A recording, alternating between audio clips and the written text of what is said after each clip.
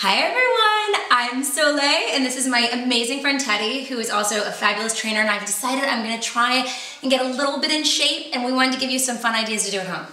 Just so you know, I'm Teddy. She didn't give me a word in edgewise, so I'm gonna I'm trying to teach her that speaking doesn't burn that many calories, so she actually has to move.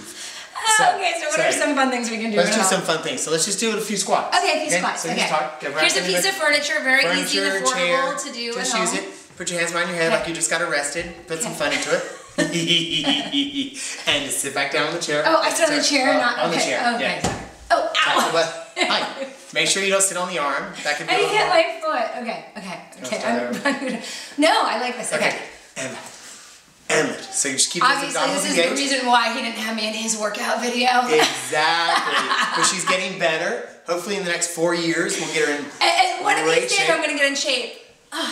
Very okay. soon, hopefully. Is that it? No. Okay, how many of these? How many of these do we do at home? Do 25. 25. Okay. Yeah, and then go change the diaper. And then we wear a bikini in a week? Uh, maybe six.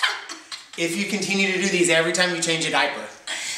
Two more. Nice job. All right, guys. That's it for today. Come on. Add a new one every day, guys. Get in shape.